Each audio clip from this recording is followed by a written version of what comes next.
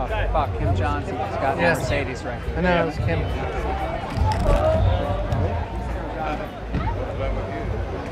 Sorry, the last second. I'm a fifth.